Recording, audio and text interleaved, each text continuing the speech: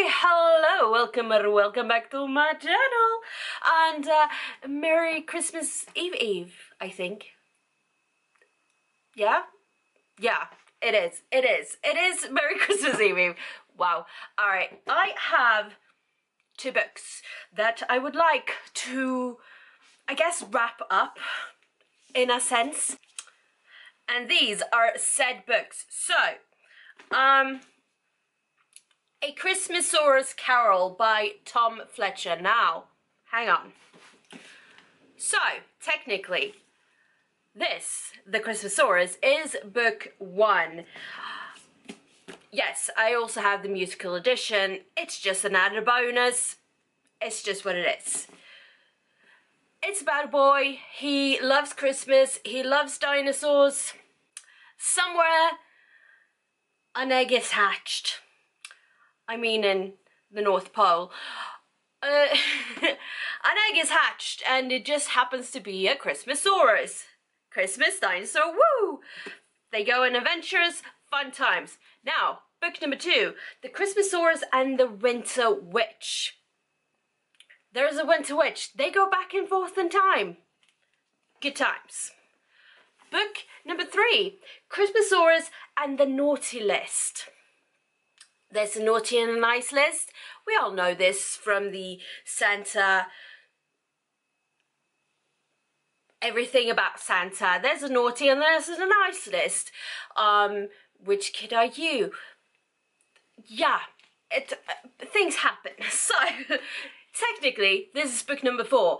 Now, for this book, I don't think you actually need to read all the other books. I do recommend you do because they're just a good time. It's Christmas, there's a dinosaur, there's a Christmas dinosaur. What's not to love? So, this book, which by the way is a lot thinner than the other ones, um, not that noticeable, honestly, but this book is a take on A Christmas Carol. If you didn't, you know, get that from the, the name of the book, yeah, no? Okay. so basically, very, very simply, in this one, they kind of accidentally read a I guess, cursed book. The book comes to life. They read A Christmas Carol, and Ebenezer Scrooge just happens to come out of it, and uh, he bah humbugs everyone to hate Christmas and everything about Christmas. Um, it's honestly just a good time. It was fun seeing the old gang again. I didn't think uh, they would write, Tom Fletcher would write another Christmasaurus book. I'm not mad about it though, I'm not mad about it at all. I really think this is a, a fun take on a classic that is A Christmas Carol and highly recommend if you like a bit of a, I guess middle grade is what these come under or younger. I don't know. It's a good time for the kids, it's a good time for your um, if you're an adult. I'm an adult-ish. Yeah, I don't understand why people let me be in charge of myself, but there you go. The next one. One Perfect Christmas and Other Stories by Paige Toon. Now, this is her, I guess short story collection would be the correct term for the, the book. Yeah, um, so I believe most of them, if not all of them, have been in her newsletter called The Hidden Page. Um, I don't have all the newsletter mail, so I, I can't confirm this. Also, my email have deleted uh, quite a few of them, um, even though I saved them. Anyway, um, so to read this book, you kind of have to, you know, know and love Paige Toon's character. It's characters. It's an S on that. Um, so, bear with me.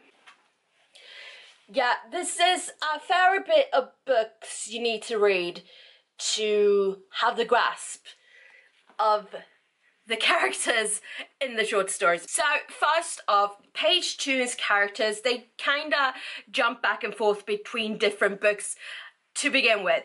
And then we have the short stories that kind of fall between the books.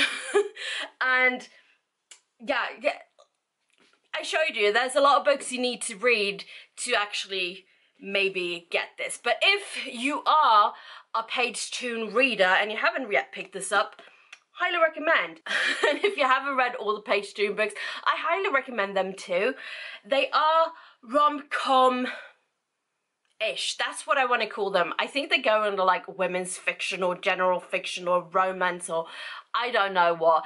I call them rom-com because I find that more funny. Chick lit, kind of also that. Somewhere along the lines of rom-com and chick lit.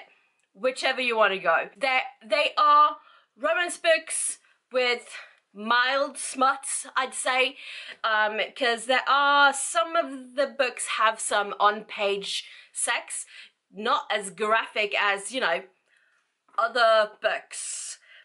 So I'd say mild smut. Uh, if we if we need to you know detail the whole thing but I love Paige Toon so I mean it was about time I picked this one up because I read the books that comes after I did um, kind of just picked this one up because I started it, was it this summer? I read um, the Johnny Jefferson, Jessie Jefferson book series, I suppose. Um, so there's short stories in this one.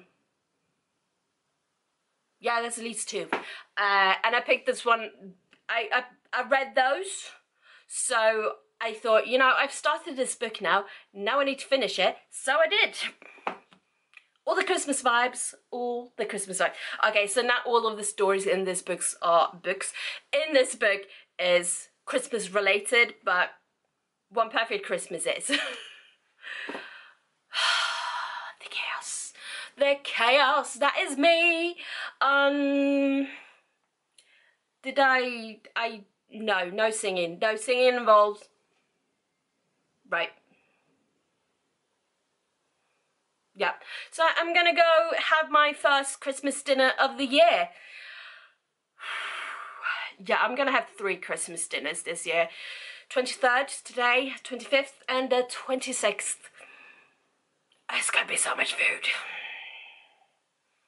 Don't get me wrong, I love Christmas food, but you can have too much of a good thing.